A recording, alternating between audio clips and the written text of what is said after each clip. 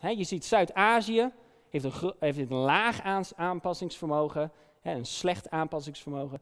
Afrika ook en ehm, ehm, Oceanië. En je ziet hier eh, Venezuela heel duidelijk naar boven komen. Dus de, de, die, die conflicten die zorgen er natuurlijk voor dat je als land niet goed kunt aanpassen aan wat er op je afkomt.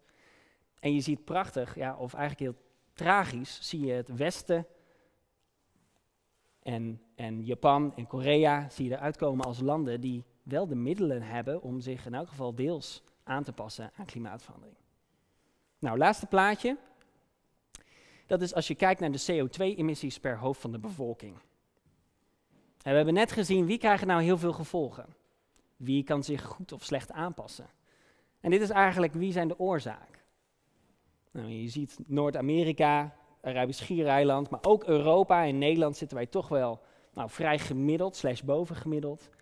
En hi- hier is eigenlijk een, een drastische conclusie te trekken. Je ziet de landen, Zuid-Azië, Afrika, de landen die het minst uitstoten, zijn tegelijkertijd de landen die het kwetsbaarst zijn, waarin het meest op en afkomt.